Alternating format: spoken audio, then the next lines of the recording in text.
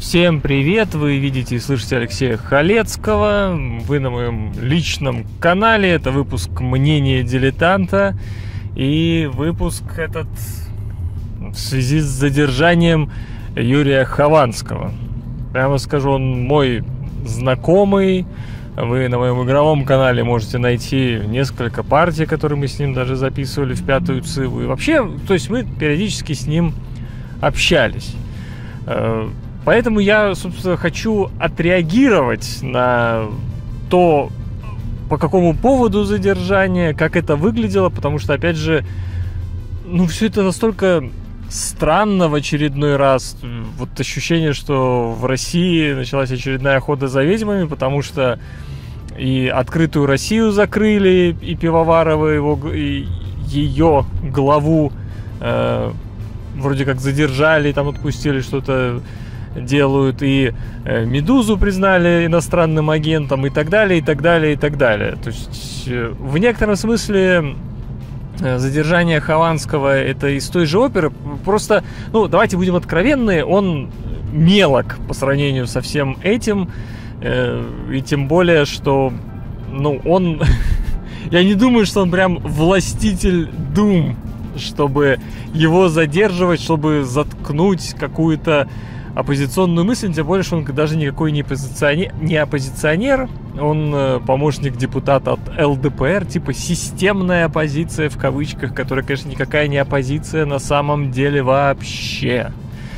Но, тем не менее, э, значит, э, кто не в курсе ситуации, Хованский лет 10 назад спел песенку про Норд-Ост, в котором говорил, что как классно, что убивали детей. Ну, если это типа черный юмор, понимаете? То есть я так, знаете, пере...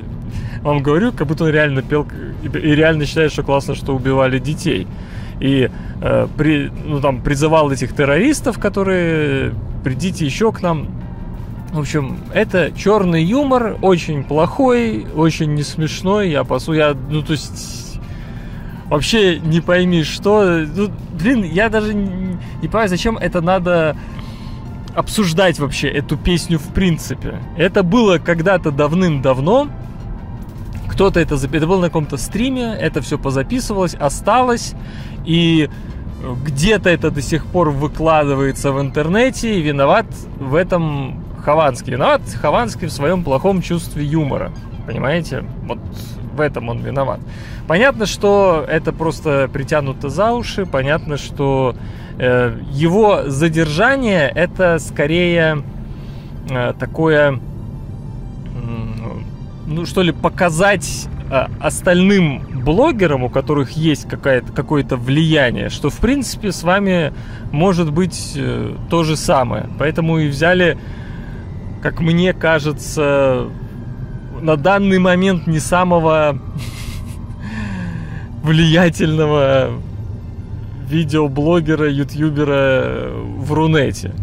Очевидно, что у Хованского большие проблемы сейчас э, вообще с психологическим самочувствием. Не, не в принципе, что не, за, не потому, что вы сейчас м, арестовали, а до этого уже. И э, на это указывают фотографии из его квартиры. Вот это меня, кстати, именно вот это меня заставило в первую очередь это видео записать, потому что у меня большой вопрос, почему, когда к тебе э, приходят арестовывать э, какие-то силовые ведомства, потом фотографии твоей квартиры появляются в интернете для всех. То есть э, с этим никто, никто не будет... То есть я вот посмотрел по всем сайтам, ну не по всем, что я говорю, по всем, конечно, пошел по всем сайтам, посмотрел Рунета, ну по многим сайтам, где это выложили, где вот эти вот фотографии появились, и там э, в, в тысячах комментариев э, тонут вот этот вопрос, а это типа вообще нормально выкладывать в открытый доступ э, квартиру человека? Это типа, почему ну это нормально?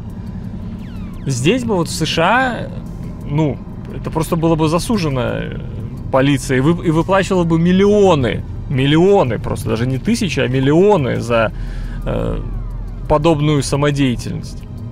Ну, понятно, что в России законы не работают, законы только э, о них вспоминают, когда надо что-то показательно сделать, типа вот э, тут призыв к терроризму у Хованского в, в песне десятилетней давности был, поэтому давайте его сейчас посадим.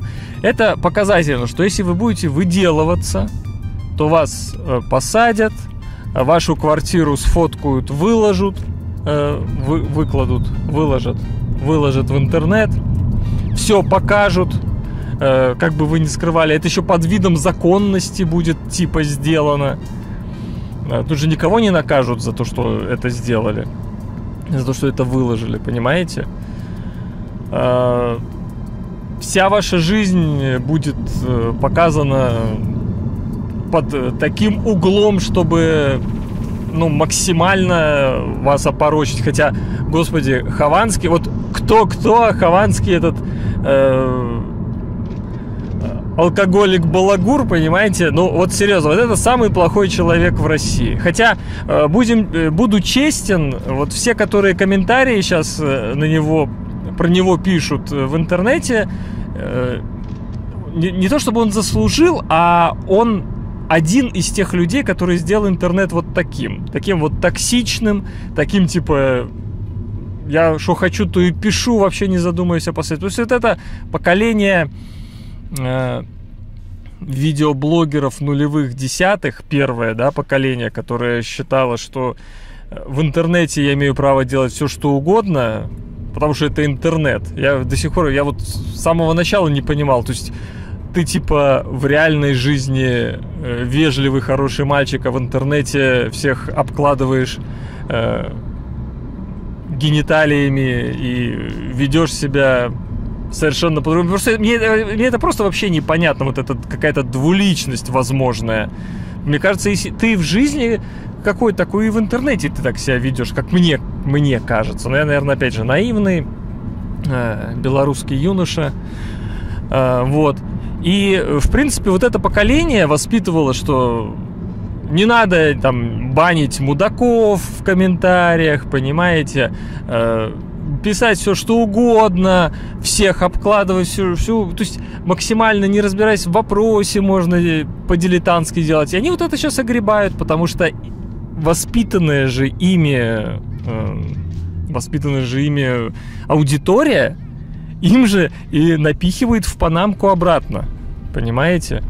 Ну, и я думаю, что одна из причин, например, Юриной депрессии во многом запоев и, и так далее, что он просто не может совладать с этой аудиторией. В принципе, я тоже не могу, я поэтому и баню всех, я просто не, не могу воспитывать и заниматься... Э, то есть, ну это, вы даже не представляете, какой это удар по психике, по-хорошему читать все ваши комментарии. Это просто, ну, это очень... Извините, петуха дал. Это очень сложно. Это очень тяжело. Это прям, ну, не знаю, памятник можно ставить. Может, и я скоро сопьюсь на этом фоне с вашими комментариями. Это, слава богу, еще игровой канал. Вот, ну, в целом все равно вот эта вся аудитория, это воспитана вот тем Мэдисоном, Хованским, кто там, кто там еще, Ларин какой-нибудь. Я, я даже вот все, всех их, потому что я их не смотрел по-хорошему, понимаете? Я не могу, я не в состоянии вот подобный трэш, который они делали и делают, воспринимать вот нормально. Потому что они нормальные мысли всегда, то есть давайте еще я побуду адвокатом Юрия Хованского. Я считаю, что он э, умный человек с, э, ну, с образованием и с интересными идеями, мнением и прочим-прочим, которое все это просто, ну, погребено в итоге оказалось под э, стремлением хайпануть, получить аудиторию и так далее. Так вот, я просто не мог смотреть не потому, что мне неинтересно там о чем рассказывать, а потому что это, ну, вот форма подачи невозможная. И потом это просто обсуждать невозможно в тех же комментариях, да? То есть я к тому, что вот эта аудитория, которая сейчас э, поливает Хованского из всех бронзбойтов, она воспитана в том числе и им. То есть он огребает э, плоды своего труда предыдущего. Тем не менее, это вообще никак не оправдывает э, то, что с ним делают. Я, я, ну, вы поймите, с ним еще как-то лайтово обходятся. Просто есть очень много людей, с которыми в России, в Беларуси э, сейчас э, намного страшнее обходятся. Просто этот на слуху, э, с ним это делают не для того, чтобы он больше таких песен не записывал. Еще раз повторю, а для того, чтобы показать другим э, властелинам мнений в интернетах, что с ними такое же произойдет, если они начнут вот мне тоже в комментариях пишут, зачем? Зачем ты лезешь в политику в игровом канале? Вот для того, чтобы вы вот эти вот всякие э, скоморохи YouTube, ютубовские не лезли в политику, вот для вас показывают, что с вами будут, будет на примере Юрия Хованского. Что сначала посадят на два месяца, как сейчас. Что, что ему там грозит? Миллион штрафа и, или, или 7 лет тюрьмы, да? Вот за, то есть мне как было непонятно, за что два года Пусирая дали, так мне непонятно, за что тут Хованскому могут дать вообще хоть что-то, кроме штрафа или... Да, да, даже не знаю, за что его сажать. Вот, ну, серьезно, это... Что он может сделать на свободе? Вот почему его посадили? Почему его ограничили в свободе? Что он... Они боялись, что они его оставят, ну, как начнет песни подобные записывать еще. Прям не безостановочно. Не заткнуть фонтан будет, да? Хотя очевидно, что Хованскому пригрози пальцем, он больше ничего не будет делать никогда. Ну, блин, ну это очевидно. Я не знаю, кому это не очевидно просто. Человек в жесточайшей депрессии, э, в запое находится уже несколько месяцев. Но его надо... Ну, может, кстати, хорошая идея, что, может быть, это как раз какие-то доброжелатели его посадить, чтобы он как раз из запоя вышел, сидя в тюрьме, типа такого. Ну, это, конечно, смешная теория, но дай бог, например, если хоть в этом будет плюс, то почему, почему нет, с другой стороны? Возвращаясь к его квартире опять, типа, какой там срач, э, я, я сравню э, с США. Ну, во-первых, это довольно славянская черта, кстати. Славянская черта держать свою квартиру в чистоте, в некотором смысле. Я хочу сказать, что в США вот местные жители, здесь родившиеся и живущие, вот у них именно такой срач в их комнатах, квартирах, потому что это их э, квартира. Они, тут не принято в гости приглашать, например, и для этого держать квартиру чистой. Э, здесь э, считается так. Я, мой дом, моя крепость, как говорится. И что я там делаю, вообще никого не должно волновать в принципе. Я уже рассказывал о том, что здесь не принято даже шторы завешивать. То есть вы можете все что угодно там увидеть, на самом деле, и это ваши проблемы. Потому что они у себя дома могут делать все что угодно. А то, что вы ходите к ним в окна заглядываете, это... Ну, я хожу в окна заглядываю, потому что это, ну, это, это невозможно избавиться. Это какая-то советская привычка, я не знаю просто невозможно идти. У, людей, ну, ночью идешь, у них светится окно, все видно, как на витрине. Я не могу, у меня шея ломается, голова сама собой поворачивается. Но я вот хочу сказать, что американцы ходят, а им вообще насрать. Они идут мимо твоего окна, даже не заглянут. Так вот, э, подобный срач у них в порядке вещей. И по-хорошему, почему нас должно волновать, что у человека дома? Почему почему столько людей возмущается тем, что у Хованского свинарник? Так, господи, то есть он, он что, изображал из себя какого-то джентльмена такого, знаете, и, и у вас образ вдруг разбился? По-моему, я так и себе представлял, что у него именно так дома все. Я просто, ну,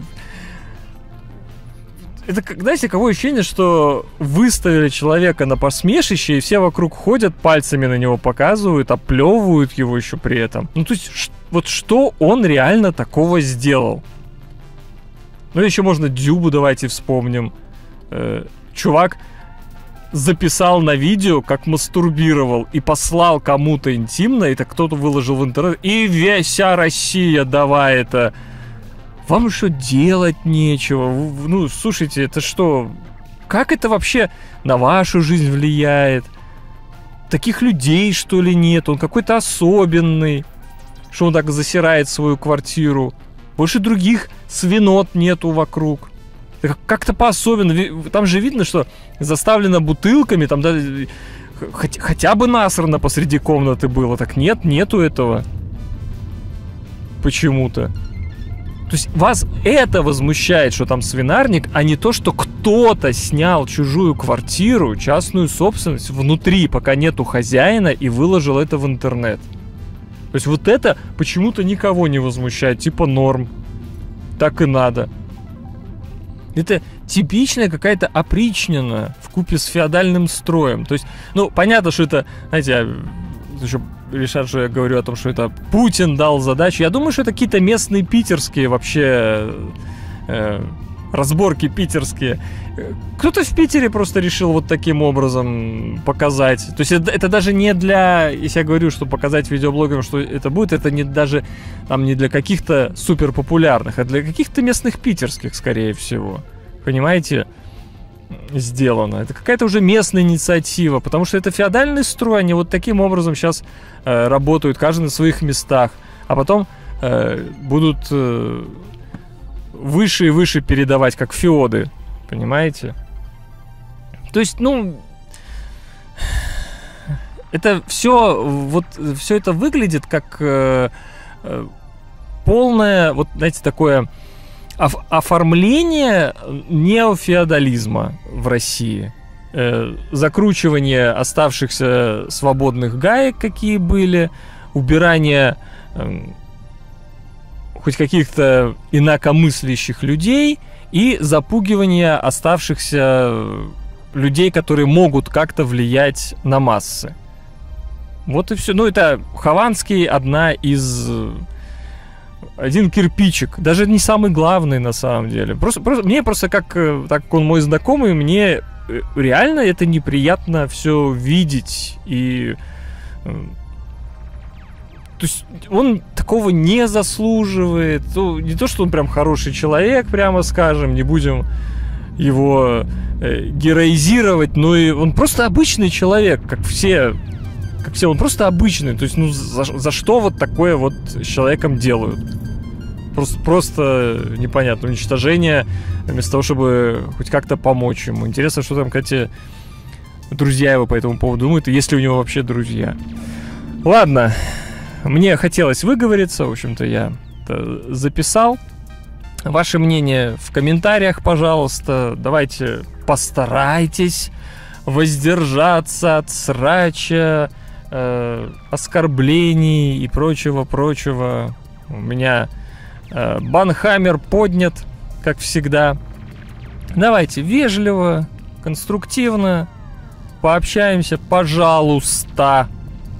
А то у меня, знаете, я тоже э, психика еще э, в запой тоже уйду. Давайте. Всем пока.